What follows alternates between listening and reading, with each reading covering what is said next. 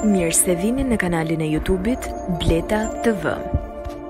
Rajmonda Bulku është një nga aktoret më të mëdha në kinematografinë shqiptare.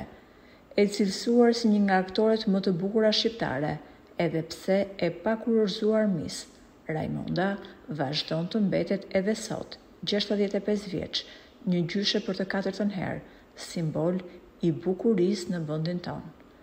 Aktorja e nisi rrugën e artit kur ishte nxënëse në vitin e tretë në gjimnaz dhe më pas, në vitin një mijë e nëntëqind e shtatëdhjetë e gjashtë, ajo debutoi në filmin Dimri i fundit. Pas shkollës së mesme, Rajmonda nisi punën si montazhiere në Kinostudion Shqipëria e Re, e më pas filloi studimet në Institutin e Lartë të Arteve, ku diplomohet për degën e dramës në vitin një mijë e nëntëqind e tetëdhjetë e pesë.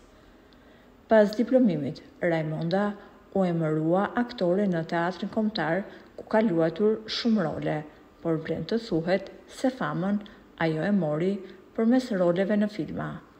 Një ndër rolet e saj më të spikatura ka qenë Meli, ku ka luajtur në krah të aktores së madhe Violeta Manushi, e cila në atë film kishte rolin e Ollgës. Edhe pse kanë kaluar shumë vite, duket se Rajmonda ende i ka të freskëta në kujtesë rolet e saj në krah të Violeta Manushit dhe për më tepër, ajo ndjen mall për aktoren, e cila tashmë është ndarë nga jeta.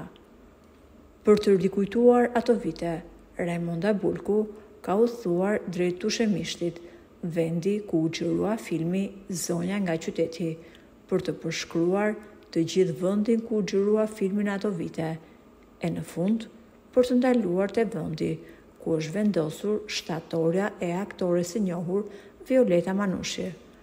Rajmonda Bulku ka qëndruar aty disa momente e më pas ka bërë një foto në krah të Violetës, duke shkruar, Në Tushemisht, me Violetën e dashur dhe shumë të respektuar, sa mall.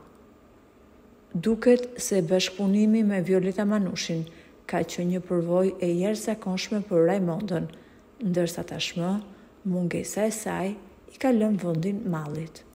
Faleminderit që na ndoqët. Bëjni subscribe kanalit Bleta TV dhe më pas klikoni në ikonën e ziles që të mos humbisni asnjë postim të ri. Nëse kjo video ju ka pëlqyer, ndajeni atë me miqtë tuaj.